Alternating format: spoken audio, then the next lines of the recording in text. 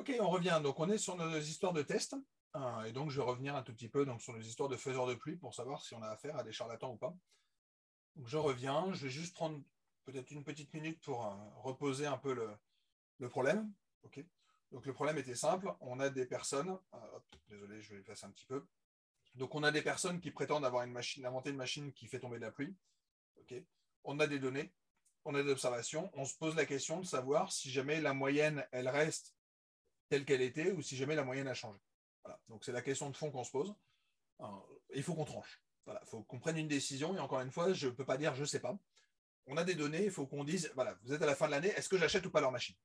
C'est vraiment, un problème de décision très simple. Il faut une décision binaire, oui ou non. Vous ne pouvez pas dire, non, on va prolonger l'expérience de 10 ans. Non, non, il faut prendre une décision de la même manière que sur un test biologique, on va dire, est-ce qu'on l'achète ou pas? Est-ce qu'on l'autorise ou pas? Est-ce qu'on le met en place de manière intensive sur toute la population ou pas? Donc on est vraiment dans un problématique de, théorie de la décision et de, dire il faut que je tranche au vu des données. Donc on, avait dit bah, c'est facile, on, va regarder une grandeur qui nous intéresse et qu'on maîtrise relativement bien, c'est-à-dire que si H0 est vrai, on sait que la moyenne, elle devrait suivre cette loi normale qui est centrée sur un 600, essentiellement parce que ce 600 correspond à mon H0 qui est que mu est égal à 600. Et ce qu'on avait dit, c'était comme, l'hypothèse H1. Donc on a H0 qui se trouve là, H1 qui se trouve là, essentiellement parce qu'on a notre 600 et notre 650. Ok, on va regarder où se trouve Y bar. Si Y bar est grand, dans ces cas-là, on va accepter l'hypothèse H0. Donc on aura tendance à rejeter H0 si jamais Y bar est grand. Voilà, c'est une règle relativement intéressante et simple. Comment je fais pour choisir ce seuil qui me permet de définir que c'est grand? Ben, Je vais dire qu'on dépasse un seuil K avec une probabilité relativement faible si jamais l'hypothèse H0 était vraie. Donc on s'autorise à se tromper une chance sur, 100, une chance sur 20. Alpha égale 5%. Donc c'est ce qui est marqué ici. On a 5% de chance de se tromper en, rejetant à tort H0. Donc on va déterminer ce seuil. D'accord? Donc on va, avoir cette, règle assez simple de décision. Encore une fois, il faut que je prenne une décision binaire. Si jamais je dépasse mon seuil, je vais accepter H0. Si jamais je suis inférieur du seuil, je vais retenir mon hypothèse H0. Et le seuil K, je le détermine tout simplement avec cette équation-là. Et ça, on sait faire. On sait faire parce que Y bar, ça suit une loi normale. Donc, je connais la loi de cette chose-là. Je connais cette probabilité-là. Et il nous faut ce, seuil. Donc, en fait, c'est juste un problème de quantile. On essaie de trouver un quantile qui va nous garantir qu'on ne le dépasse qu'avec une certaine probabilité alpha relativement faible, qui vaut ici 5%. Donc, si je continue, Comment est-ce que je le, constitue? On voit réapparaître quelque chose qui ressemble étrangement à ce qu'on faisait quand on faisait des, euh, intervalles de confiance.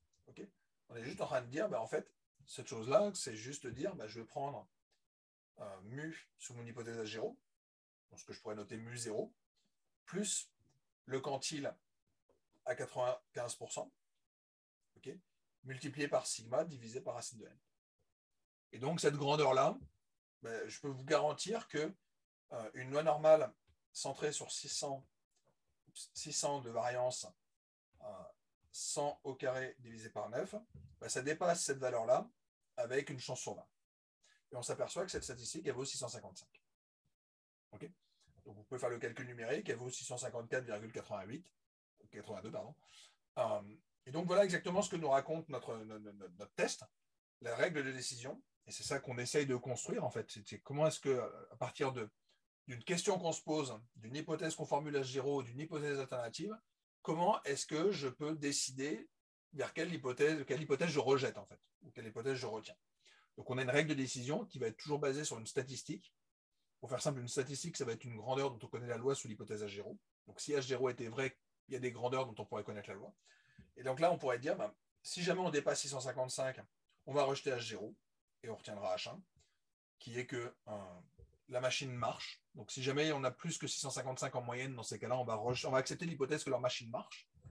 Et ce qu'on voit, c'est que si jamais on est plus petit que 655, y compris d'ailleurs 650, dans ces cas-là, on aura plutôt tendance à retenir l'hypothèse que la machine ne marche pas. Ce que ça veut dire, c'est que statistiquement, c'est possible d'avoir 650 mm d'eau. Encore une fois, on avait une, une loi qui était, euh, chacune des années, on est centré sur 600 avec un écart type à 100.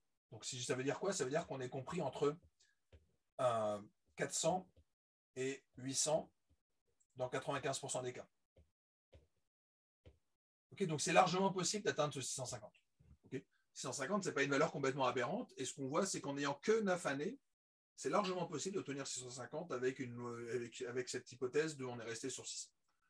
Donc, ils ne sont pas mis trop loin, mais on voit qu'il va falloir quand même pas mal dépasser la, valeur de 650 pour, pour, pour, pencher vers, vers, le fait que leur machine marche.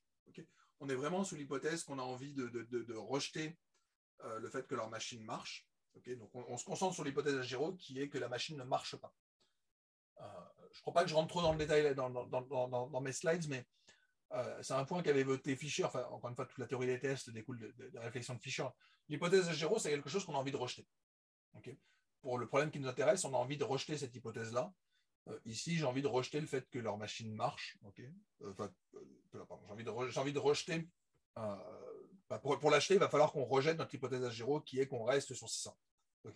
Donc notre hypothèse H0 euh, va être l'hypothèse de base, donc ce sera les variables sont indépendantes, ce sera la pièce n'est pas truquée, ce genre de choses. On va voir si jamais on rejette cette hypothèse.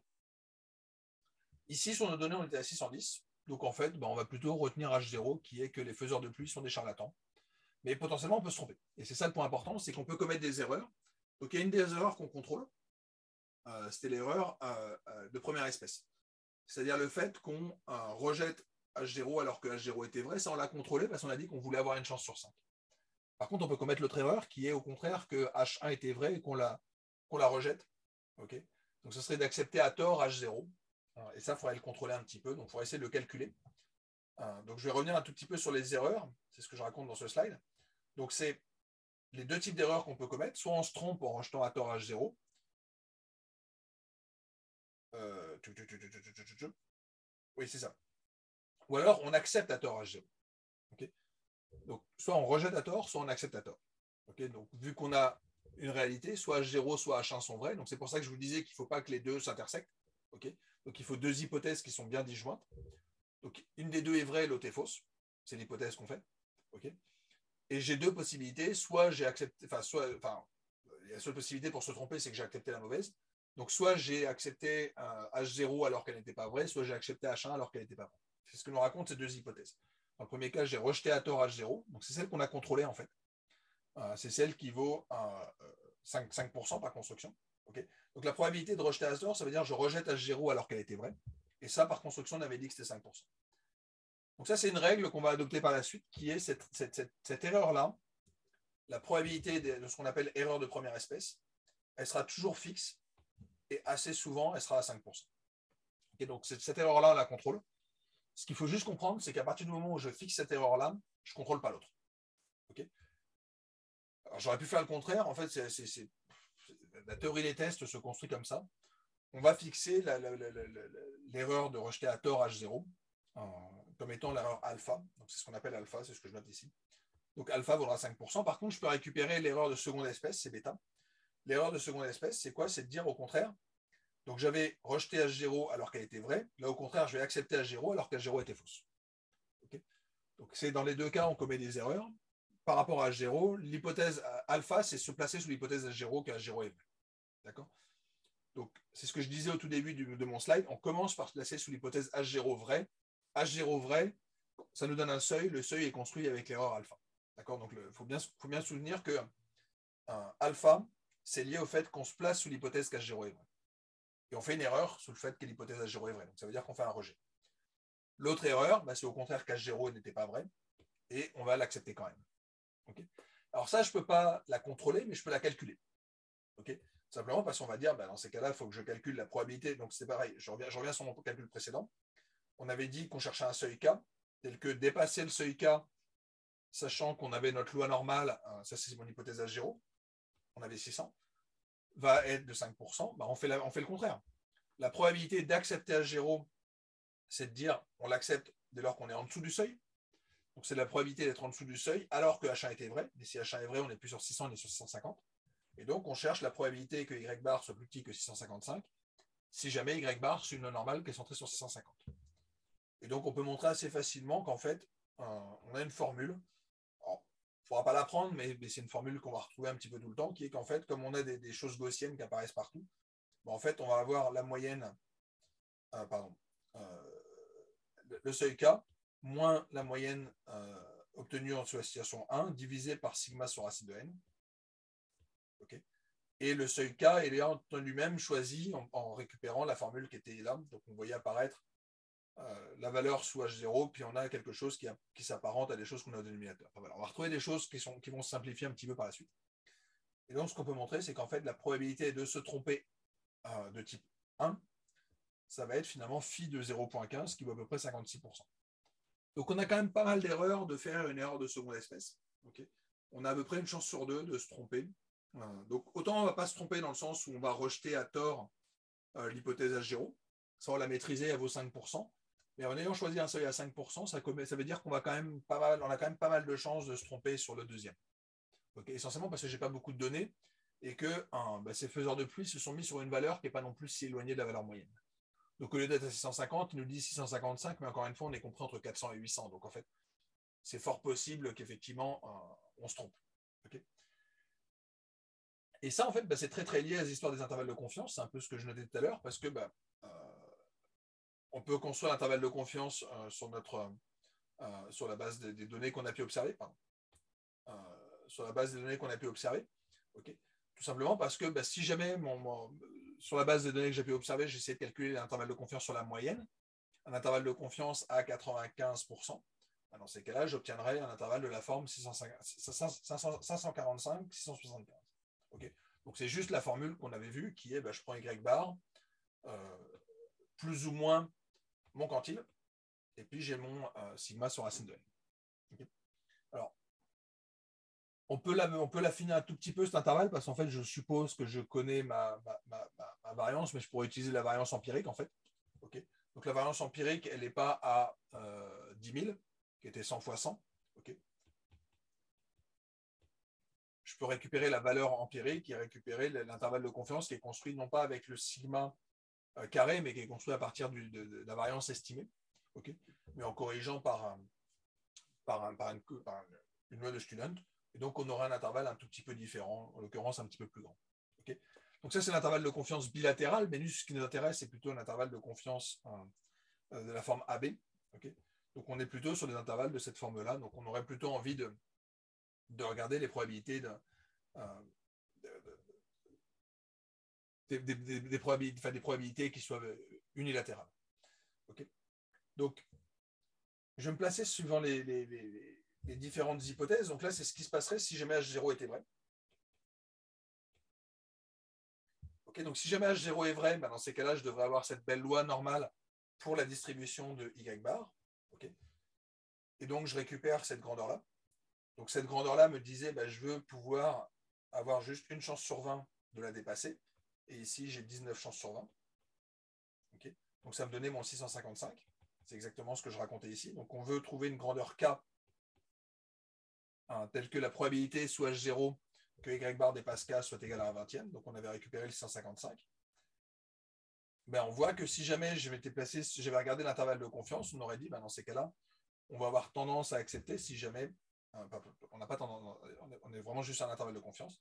L'intervalle de confiance euh, qu'on a pour notre euh, moyenne obtenue avec nos, charlatans, on sait juste que la moyenne elle est plus grande que, 650, que 555. donc ça ne nous dit pas grand-chose. Effectivement, on voit qu'on est, assez loin de, ces valeurs-là. Donc suivant le fait qu'on utilise une hypothèse de normalité ou une note de student. Mais si jamais je m'amusais à tout décaler, dans ces cas-là, je me place sous l'hypothèse, cette fois-ci, qui est que c'est non plus l'hypothèse H0 qui était vraie, mais l'hypothèse H1. Dans ces cas-là, je récupère mon intervalle de confiance conditionnellement au fait que H1 était vrai, donc pour calculer mon erreur de seconde espèce quelque part. Et donc, on récupère un intervalle de confiance qui serait de la forme 605 plus l'infini. donc, on peut s'amuser à construire tout ça en intervalle de confiance. Et donc, je reviens un tout petit peu hein, sur ce qu'on essayait de dire. Donc, on, va accepter le, ce qu'on disait, c'était on va accepter le fait qu'on ait, des vrais faiseurs de pluie si jamais la moyenne était suffisamment grande, et donc dépasser 655. Et dans le second cas, donc si jamais on faisait notre intervalle de confiance, on a envie de dire, bah, j'ai envie de l'accepter si jamais 600 est dans mon intervalle de confiance. Et donc ça veut dire que 600 est plus petit que la borne sub de mon intervalle. ok? Donc en fait, on est en train de construire deux approches totalement différentes. La première uniquement basée sur des tests et l'autre basée sur des intervalles de confiance. OK? Donc c'est juste qu'on est en train de, voir deux problèmes de la même manière et on verra un petit peu ce lien fort qui existe entre les intervalles de confiance et les, et tests. ok? Puisqu'en fait, faire un test avec un seuil, euh, c'est pour ça que j'utilise le même alpha en fait dans, cette partie que dans la partie précédente, c'est qu'en fait, c'est les mêmes, les mêmes types de grandeur. ok? Sauf que dans un cas, euh, c'est exactement ça. C'est exactement les mêmes grandeurs, donc on va supposer comme étant égaux à 5% ou, ou 10%, et qui nous permettent de trancher hein, pour savoir si jamais on est ou pas dans la région de rejet. Donc cette zone de rejet, ça va être quelque chose d'assez important. Euh, la zone de rejet, ça veut dire que on, va, on va essayer de définir un, ensemble. Donc c'est celui qu'on avait appelé 655 euh, plus l'infini. Donc là, ça veut dire qu'on va rejeter H0. C'est l'intervalle qui apparaissait tout à l'heure quand je faisais ma, règle de décision. On va avoir cette notion de, zone critique qui va faire qu'on va accepter ou rejeter notre, notre. Donc ce que je viens de raconter, je le formalise ici. Et puis après, on fera une petite pause. Euh, ce que je suis juste en train de vous dire, c'est que formellement, on va avoir des données. Alors, il manque peut-être cette partie-là. On a des données y1, yn. On va supposer que derrière se cache une variable yi qui est une certaine loi f Et le test euh, repose sur ce paramètre θ. Donc, soit on a θ qui appartient à θ0, soit on a θ qui appartient à θ1, qui va être de manière générale, ça vaut θ0, ça vaut θ1. Donc, je peux le définir sur un ensemble. Dans, le premier, dans, ce que nous avons vu, c'était des hypothèses simples. Les hypothèses simples, ça correspond au cas où on a des points. les autres, c'est ce qu'on appelle des hypothèses composites, qui veulent dire qu'en fait, on a un intervalle euh, ou une réunion d'intervalle. Enfin, voilà, peu importe. Par exemple, cet exemple-là sera un cas assez général. Euh, pardon, c'est θ1. Donc le θ appartient à θ1, ça peut, ça peut vouloir dire euh, qu'on n'est pas égal à θ0, pour faire simple. Donc c'était un peu l'exemple que je vous évoquais plusieurs fois, qui est H0, c'est que θ est égal à θ0, mais l'hypothèse alternative, c'est que θ n'est pas égal à θ0. Et donc ça, ça me, définit cet intervalle-là, cette réunion d'intervalle. Et donc c'est une hypothèse, une hypothèse composite. voilà pour les termes. Donc les, hypothèses composites dont je parle, bah, c'est effectivement on n'est pas égal, on est plus grand, on est plus petit. Donc ça, ça va être les, trois cas qu'on va aborder en permanence dans nos tests. Et puis après, une fois qu'on a construit ça, ben, on va prendre une décision. Il y a deux décisions possibles, soit je rejette H0, soit je rejette H1. En gros, soit je c'est comme ça qu'on dit en stat, mais en gros, ça veut dire je rejette H0, et l'autre, c'est plutôt j'accepte H0. Il s'avère que pour plein de raisons, en stat, on n'aime pas dire qu'on rejette, enfin qu'on accepte H0, c'est plutôt qu'on la rejette pas. C'est un peu stupide, mais voilà. Je, vais peut-être le, dire de manière un peu abusive, on va accepter l'hypothèse H0 dans mes slides. Et pour faire ça, bah, comment on fait? On avait dit, on va s'intéresser à une statistique de test. Donc on suppose qu'on a une grandeur qu'on connaît, dont on connaît la loi, pour faire simple. je vais introduire une statistique de test dont on connaît la loi sous l'hypothèse H0, quand on aura une hypothèse de H0 qui sera simple. Et ce qu'on va dire, c'est simple, c'est bah, je vais accepter dès lors que je, bah, plutôt, je vais rejeter H0 si jamais je suis dans une région W. Donc c'était exactement la, région qu'on créait tout à l'heure où on disait bah, je vais avoir 655 et les valeurs positives. Ça, c'est ma région de rejet. Alors, ce qu'il faut juste comprendre, c'est que la forme de la région de rejet va dépendre de l'hypothèse alternative qu'on met en face. Si jamais mon hypothèse n'était pas 600 versus 650, mais 600 versus 500, supposons qu'on ait des gens qui disent qu'ils ne, vendent pas de pluie, au contraire que les années, il n'y a pas de pluie, dans ces cas-là, l'intervalle, il sera dans l'autre sens. Ok, ça sera, plus petit qu'une valeur. Donc la forme de la région critique dépend de l'hypothèse alternative qu'on met face à H0. Et après, ben, comment est-ce qu'on fait pour trouver la forme? Explicitement, la, la forme de, de, la région de rejet dépendra de, H, 1 mais par contre, les valeurs vont être calculées en prenant en compte de cette probabilité-là. Donc, la probabilité alpha va permettre de déterminer les valeurs au bord de mon espace de rejet. Donc, une fois que j'ai fait ça, ben, en gros, je vais déterminer mon seuil K. Donc, c'est ce qu'on avait dit tout à l'heure. Donc, la forme de H1 me permettait de dire que mon intervalle de rejet sera de la forme K plus l'infini. À partir du moment où je me donne mon alpha, je peux trouver la valeur de K. C'est ça qu'on est en train de dire. Et après, pareil, on pourrait faire des intervalles. Euh, on sera de la forme AB, on sera de la forme euh, BA, enfin, AB, euh, moins l'infini, B, A plus l'infini. donc là, on est plutôt sur une forme A plus l'infini. et une fois qu'on a fait ça, on peut calculer une probabilité de faire une erreur au second, de, seconde espèce. Donc celle-là, elle se calcule. euh, et c'est un point important, c'est que je ne la fixe pas. Autant je fixe alpha, autant je vais calculer B ensuite. Et à partir de là, bah, je prends ma décision. Je prends ma décision en sachant que je peux me tromper, mais j'ai envie de connaître les probabilités de me tromper. Voilà. Une fois que vous avez compris ça, vous avez compris l'essentiel de la théorie des tests. Ce que je vais faire, c'est vous montrer maintenant toute une série d'exemples. Mais voilà, toute la philosophie, elle est là. Si jamais ce n'était pas clair, repassez-vous la vidéo hein, au ralenti, hein, ou plutôt une deuxième fois. Si jamais c'est toujours pas clair, je peux essayer de le réexpliquer. Mais voilà, l'essentiel se trouve là. Et ensuite, on va pouvoir mettre en place toutes sortes de, euh, stratégies. Donc, je vais peut-être faire une petite pause et puis on reprendra après euh, avec des exemples pratiques. En particulier, on verra les tests gaussiens, les tests de proportion et toutes sortes de choses.